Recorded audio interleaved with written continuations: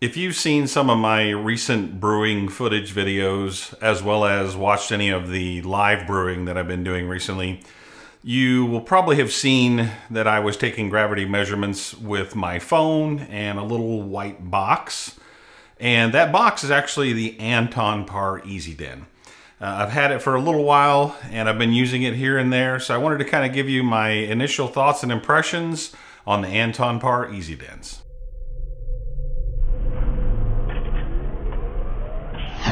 Full disclosure, as with all my videos, Anton Paar did send me the device to do the review on and use it and test it and see what I thought about it.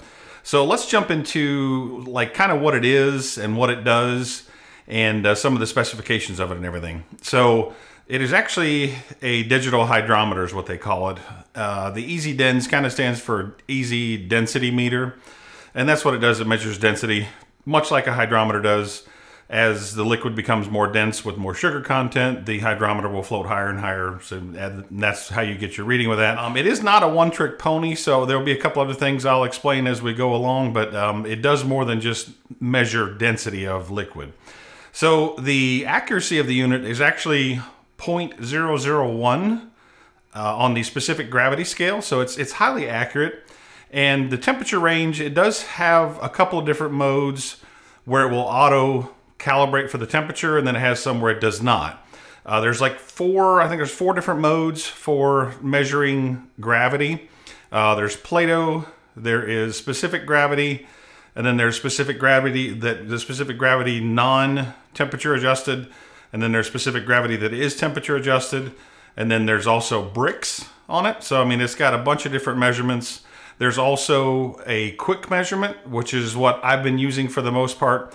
And then there's also a continuous measurement, so it will continue to measure whatever liquid is flowing through it until you tell it to stop. So that's kind of a cool thing. I don't know how I would incorporate it into a brew day, but I could see maybe having like a small T or something like that off of the feed, off of the, the hose that's going into your kettle as you're doing like a fly sparging and then watching to see as it gets close to like 1.010 or something like that. Um, as I said, it does have an app. Uh, it's available for Android or iPhone, the iOS. No, you know, no issue with getting the app installed. I did have a little bit of an issue getting it to connect to my phone initially.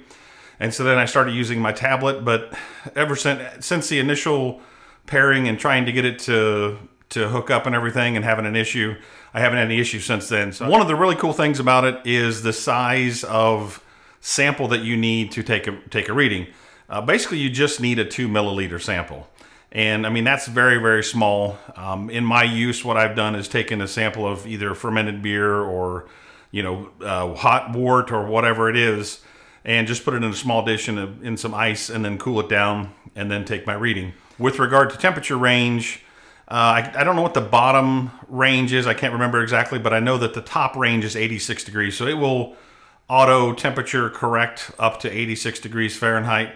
And so, I mean, that's pretty nice. You know, you, can, you don't have to cool everything down to like 60 degrees in order for it to take a reading that is, you know, temperature adjusted. One of the things that you do need to know on this is like if you're doing pressure fermentation, much like using a hydrometer, you do need to degas the liquid and I actually showed a method for doing that in a recent how to use a hydrometer video where I put a coffee filter into a funnel. I'll link in the description that video so maybe you can go and check out how to degas beers. But I've used this thing for, you know, like I said, wort.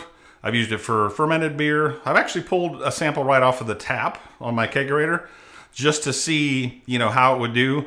Degassed and it worked absolutely awesome. The other thing that's kind of cool about the app is that it allows you to track your batches. And when you do that, like let's say if you go through a whole brew day and you take several measurements as you're going through the mash and then you take, you know, your, your starting gravity measurement and you don't create a batch in the app, you can actually go back and create an, a batch in the app and then add, if you didn't track your starting gravity, which in the case of what I'm showing here, I had a stout that I brewed before I got the unit. So I was actually able to create a stout batch profile in there and then add manually the original gravity for it. And then when I took a reading for the final gravity with the Anton Paar Easy Dens, I was able to actually select the reading that I took and then that actually put in the final gravity measurement in there. It gave me my ABV, gave me my attenuation and all that stuff. So the app is pretty cool in that aspect that it will track everything. The only thing I will say that I would like to see with the app is maybe some kind of cloud connectivity because if I take a measurement on my phone and then I take a measurement with my tablet, um, the two of those recipe or two of those batch batch the batches don't sync up. Now, as far as other functions that this thing will do, it will do like a sugar content like Brix, like I said a minute ago. Um, it will also do ABV. So for those of you that make essential oils, um, you can actually use this kind of as a proof and Tralle hydrometer. I think. I mean, I, am you know I, am not an expertise expert in that, but what I did do is I tested it out to see if it would give me an ABV on a spirit. I used just like a cheap vodka and ran it through there. And according to the label on the vodka, it says that it's supposed to be 40% alcohol. And as you can see, it came back, I think was 39.4 was the highest reading. Now, I don't know what the vari what the variables or the allowable variation is on alcohol like that as far as, you know, the label goes. But I have a feeling that, you know, 39.4 might be right because, you know, manufacturers may be a little bit low on the alcohol content. I don't know what the uh, what the uh, the parameters are for um, it. As far as taking a sample goes, it's super simple. You just take the sample in the syringe, put the outlet hose into like another container, and then start your measurement by hitting the start measurement on the app on your phone or tablet or whatever. And then as you while it starts to read, you actually just you very slowly, very slight pressure on the syringe and push the sample through the EasyDens and then it takes a reading as it's going through. Now, some people, when I was using it, were saying that you know they don't use it by pushing the the sample through; they just let it sit in there.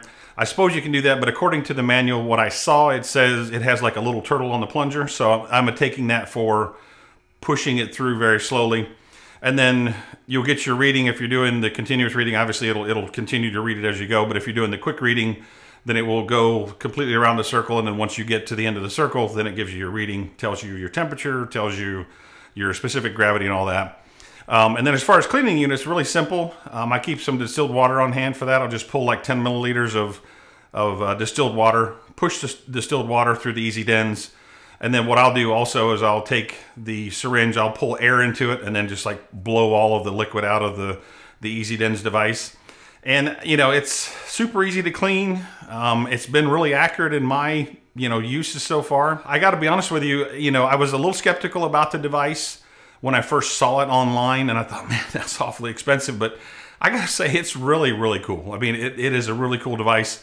The only other thing I, I wish maybe that it might have would be like a desktop app where it might be able to interface with Brewfather or something like that through that Bluetooth connection. So I don't know if they're planning on having like a desktop app for it, but as far as I know right now, they only have the Android and iOS apps for it. But my initial thoughts on the thing are it's, it's pretty darn cool and, and it's really useful. I've had, you know, I've taken more gravity measurements probably than ever. I mean, I've been doing it with this device just to test it, but I've been taking a lot of gravity measurements just because it's so easy to take them and so easy to clean it and everything like that. So let me know in the comments down below what you think of it. Um, you know, I'm going to do some more testing with it. I'd like to compare it with some other devices, hydrometers. I've got a iSpindel that I just got in from the UK. So I'm going to try that. I might buy a tilt hydrometer and see how all that stuff compares. But, you know, I, so far, so good on the device. Obviously, it's up to you if you want to make that jump to purchase something of that expense.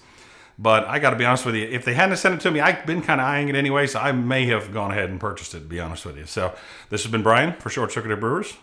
See you on the next video.